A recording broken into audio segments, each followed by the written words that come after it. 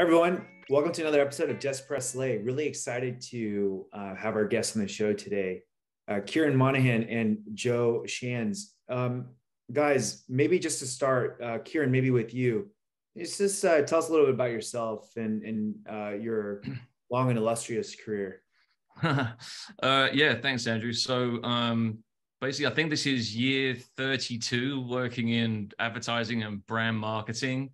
Um, started uh, back in London, where I'm from, and um, moved over, worked at a couple of the big agencies in London um, on a couple like big global brands, um, and like British Airways and Vodafone, which is Verizon in the US, and PlayStation globally, and that sort of thing.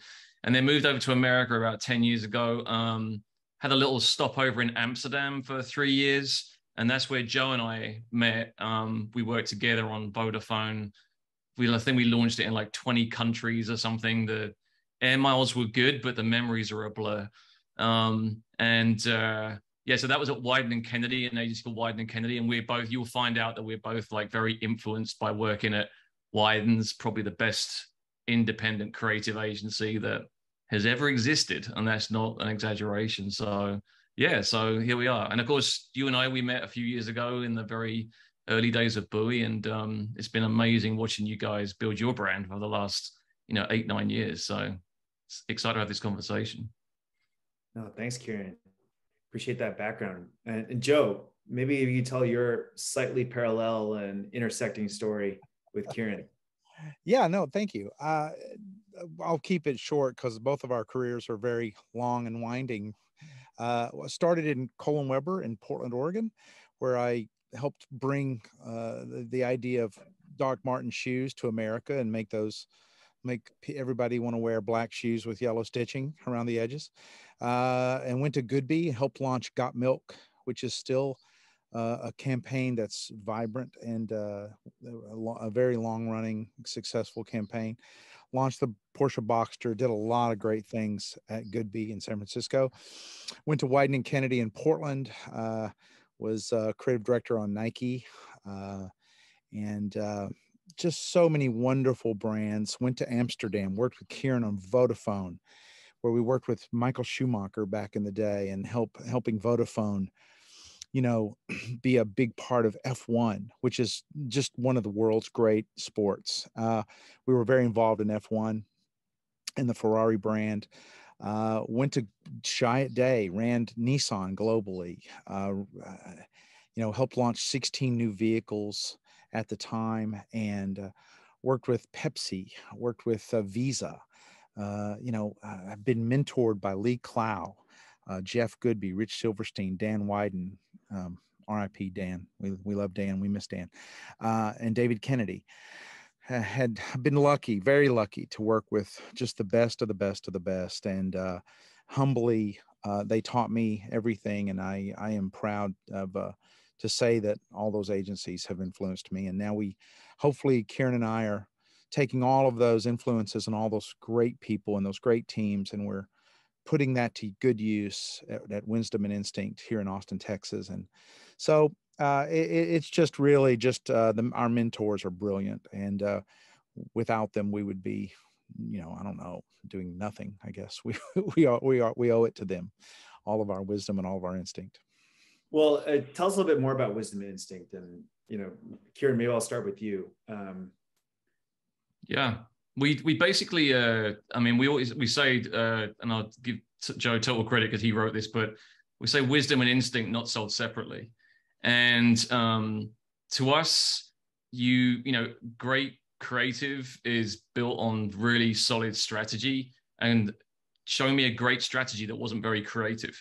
Um, so you know, you can't separate those two things out. So the wisdom is the strategic understanding of what of why brands actually grow.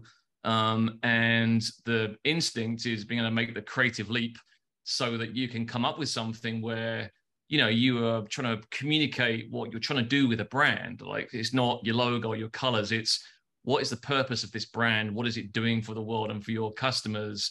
And how do you encapsulate that and articulate that in a creative way that just gets people in the few seconds you've got to you know create sort of gather their their attention? Um, so that's kind of we've always you know we always say like we i'm kind of i'm the strategist and joe's the creative director but we always say like i'm 80% strategy and 20% creative and he's the other way around. And we always work best with people who can who can do that. Um so we don't take on creative on strategic business where we're not going to end up doing the creative and and we don't take on creative business where there's no there's no strategic input because we just won't do our best work. So yeah that's kind of where it where it came from. Love that. Well maybe diving in then um, you know we uh, have a lot of you know first time entrepreneurs uh, following the vlog and and uh, also just a lot of my colleagues. I'm a first time entrepreneur. And so you guys have worked with just some amazing companies very well established brands. Uh, can you give us a couple of takeaways you know on the strategic side but also on the creative side? Uh, takeaways that you would kind of give to say a first time entrepreneur in teaching them about how to build a brand you know from both perspectives. And maybe joe uh, maybe i'll pass it to you first. Like what do you think? Uh, well you know again yes we've worked with in eh, brands that have who inspire the human spirit. And so one of our missions at, uh, that Kieron and I really believe in and adhere to is that we get up every day and our goal is to inspire the human spirit. And so I, I would give the advice, and we do give the advice that uh, to have a to uh, to uh, first time entrepreneurs is to have a clear mission written and approved by your entire team. Paint it on the wall make it personal make it poetic. You know this very first step is why people like want to join your company want to join your cause. That's why they they tell their friends they run they run to tell their friends that they just got to work get they got a job at this great company and it goes far beyond a paycheck. It's it's it's a mission based thing. It's a it's a cause based thing. It's a it's a greater good thing. So that that sort of passion and compassion is incredible in in the tech sector and in, in tech category in healthcare and sports. You know nike always said everybody is an athlete. And if you have um, if you have physical issues if you're perhaps overweight underweight tall short thin you you're an athlete. You're an athlete if you say you're an athlete and you go and act accordingly in your world. If you run if you just go for it. So that right there that compassion and is is something that you know uh, that that mission that everybody is an athlete that that that thing is why is and also be great marketers be proud of your brand. Your brand is we always tell people your brand is not just your logo or maybe a corporate color it's your voice. It's uh it's sort of uh, you know it's sort of what you want to achieve. So be great brand ambassadors. Put your dreams for your your company or your startup on display proudly for the world to see. Steve jobs was brilliant and he was brilliant also in the world of marketing. Um, so that that that's what we usually tell them to go out there and do something and always know that this is a human thing and just inspire the human spirit.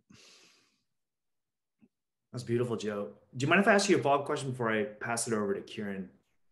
Um, joe when you talk about kind of the individual um, like say like a steve jobs you know being brilliant at marketing but also individuals you know and entrepreneurs kind of like really talking about the brand and it's displaying that for everyone. Um, how do you think about building brand at the company level uh, versus at the individual level? Uh, like what's your what's the thought process there? Um, one and the same is, is there a risk in that? Um, what's the strategy in, in kind of the separation of like who's doing the speaking when it comes to the brand? Well i you know obviously it comes from on high and and whoever is sort of you know inspiring and or began the company but we always also absolutely believe that no brand can be amazing out in the world until it is has complete buy through sell through and there's a pride internally in internally in the company. Everybody internally should be so proud of what they see going out into the world. They should never question it they should be like i i, I love our messaging i love our voice. Uh, when if if you were lucky if you are lucky enough to have uh, mass media on television at the super bowl uh, your employee should be the first one that shushes the room. Stop stop talking stop stop stop our commercials coming on. Like be proud of the messaging like it's like you you own it like it's your personal message like you wrote it. And so the individual is incredibly important and I, and and and them like being again brand ambassadors not just company ambassadors because what your mission is how you treat people uh, those things will filter into uh, into your overall brand. It'll it'll it'll be the D- dna it'll be the foundation of it. So you are fundamentally good. You're inspiring. Your mission is to go out and help others. That will that comes from on high but it also comes from the lowest person on the totem pole as they say. So it comes from the bottom up and the top down. And uh, so build your brand internally and then let it go out into the world. And that's why we say write that mission paint it on the wall make it poetic make it something everybody sees when they walk in in the morning. Like Wieden and Kennedy, we used to have this giant wall, and somebody put it together with uh, clear little pins and uh, in the wall. So it was a like a billion little stick pins that spelled out the words "fail harder." And you sit there and you go, why would anybody in the world want to say to to young people, to anyone, to fail harder? And that is, that's because they wanted to inspire an an atmosphere, an environment where there's no fear. You you the greatest I the greatest ideas come from knowing that you can present those, you can put that out in the in the lobby and you can build a sculpture whatever you think might help. And everybody's going to go oh, are you crazy? What is that? And that's okay. And sometimes your your ideas might go far too far but no but that that is the good thing uh, not the bad thing. The bad thing would be to to inspire an environment where uh, people are afraid to go the extra mile to come up with the crazy idea that changes the world to say what needs to be said in a meeting that might not be popular but is honest and from their heart and they feel like this is my brand and my company too and i'm going to give you a great idea and and if, if you don't like it that's okay but encourage no fear yeah i love that joe kieron uh, would love to get, get your take. What are some takeaways, you know, for an, uh, a first time entrepreneur in terms of building a brand? Yeah, I mean, I think as Joe was just saying there about, you know, it comes from on high. I mean, a brand needs, like anything, an obvious statement, but it needs real leadership. Um, and I think there's like a dichotomy there because we think that, you know, great leaders are, there's a lot to be said for servant leadership. Um, it's like, you know, officers eat last, that sort of thing. But at the same time, it's like an organization is, it gets to a point where you can have it's a democracy where need, everyone needs to be heard, but at some point a leader needs to make some decisions and say, "We're going over there. Who's coming with me?" Need to inspire people. So it's like you know, I like the way that Joe said it comes from on high, and I, I think it it comes from on high, but it also it comes from the heart. So the sort of the company and the individual is if it's in their heart and it's come from on high, you're on a you've got a winning like little algorithm there for your brand um, because people can feel it. It's you know, like my favorite quote, Maya Angelou, is, you know, it's um, people I learned people forget what you did and they forget what you said, but they'll never forget how they made you, how you made them feel.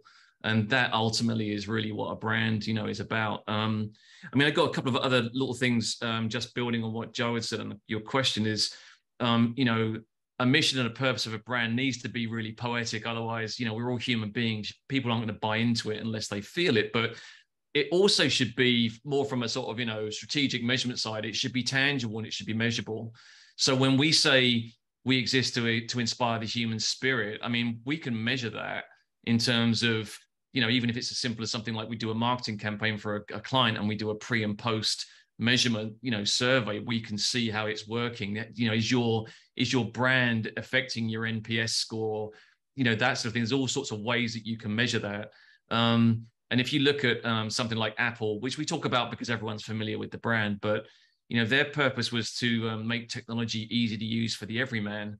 Well, that's incredibly ambitious and it's very, it is very poetic, but it's also easy to measure. You know, are you making it easy to use for most people?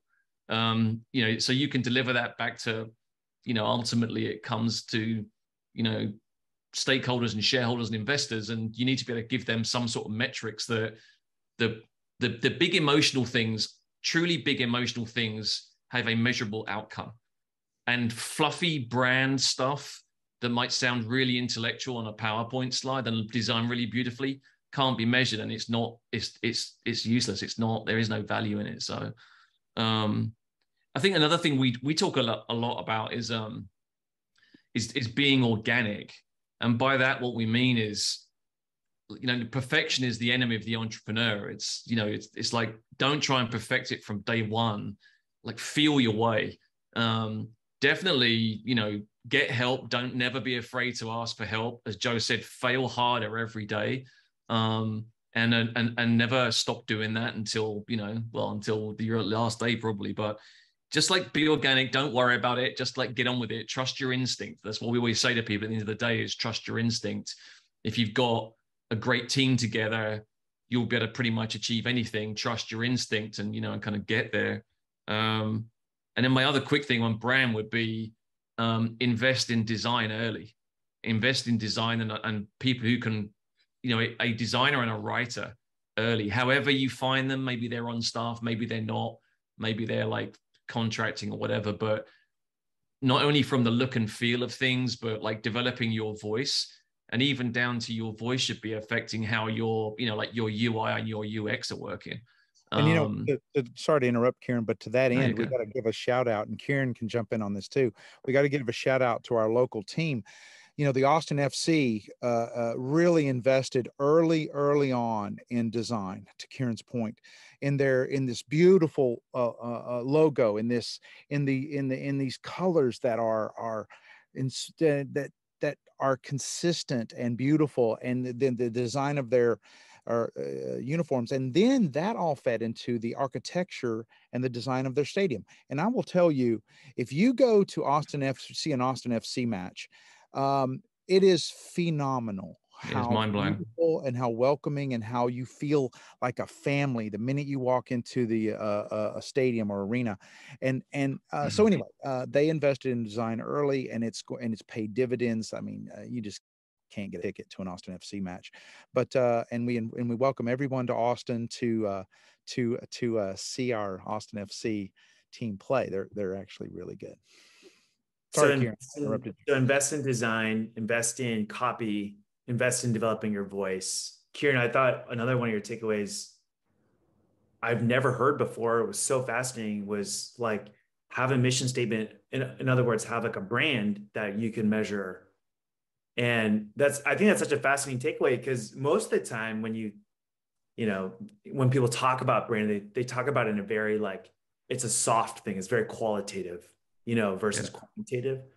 And so um, but that's a really good point. Um, and I'm like reflecting a little bit about our, you know, stated mission statement, you know, uh, which is really like to be the best way to get better.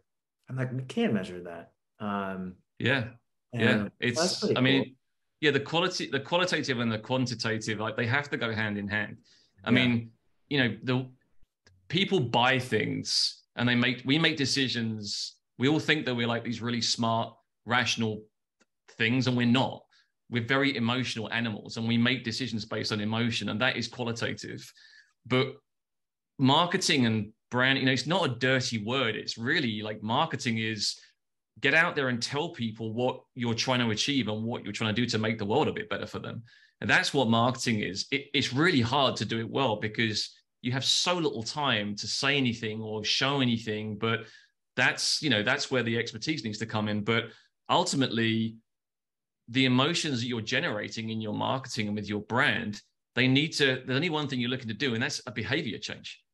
And you, you can measure a behavior change. So, and I think that I always say I'm allergic to brand fluff. And th- there, there is a lot of it out there, and it's hard. It's a, it's a hard thing to come up with something that is both deeply emotional, but clearly tangible and therefore measurable. Um, but it, you know, it can be done, and that's what great brands do. That's what we see, you know, great brands do. And like when there's a great scene in um, Mad Men. If you ever seen that show and about Madison Avenue and and Don, I remember that struck me so strongly. Um, one episode, Don Draper, they've got the, a car account like Chevy or something like that, and Don Draper's the creative director, and they're talking about a problem, and he just says, "How many cars are they selling?" And it was like the creative director is asking someone to quantify is our marketing working for our client? So you know joe and i have the same sorts of discussions and he will be very poetic in the way he writes and that's kind of that's the creative leap and that's the instinct. But he'll also just go okay well give me some insight into these people. Like what do they want to do? Like is this working? Are we getting more people to the website? That sort of stuff. And you have to love both sides of that equation you know otherwise you're in the you're not in the right business. I love that. I know we only have a few minutes left. I feel like i could talk to you guys for hours. We should maybe do a, a, another episode but um, maybe turning to our industry specifically, uh, I think I remember I saw some uh, study looking at some of the top brands in healthcare and found like their penetration was relatively low, uh, right. in kind of like the 30% range. And I, I don't want to name names. And I know Buoy is still, we're still in the, you know, in our journey of kind of building a brand. Um, taking everything that you've learned from so many other industries and then looking at the healthcare ecosystem specifically where do you see areas of opportunity for brand innovation um, or brand positioning uh, strategically creatively uh, just would love your take um, on, on sure. about brand building within healthcare sure well let me let me start with that one i mean when we just before we were we were talking just before we got into this call about this sort of thing and there, there were three things that jumped out to me, um, and having done quite a lot of work in healthcare as well. And the three things were, um, I'm not sure they're around innovation, but certainly around a brand in healthcare is there is a big issue with, you know, with trust in the, just the system, not in the necessarily the providers, but in the system. And so transparency is something that is just so critical in dealing with, and we always like to say when we're talking about healthcare, like it's people, not patients. And of course, they are patients. We all need to be a patient, but it's you know it's it's about human beings, and so it's about being transparent to build trust because trust is the is is is the most basic of all attributes of a brand. It has to build. You got no trust, you you are nowhere. Um, the other thing is just, and we've probably already covered this a little bit, but it's like just be human. Like you know patients are people first and then they go to the hospital. See the doctor you know it's, it's treat them like you're talking to a member of your family that you really care about their health care and just find ways of doing that. And then the other thing um, is and we know it's a big theme in healthcare is, is, is you've got to show compassion.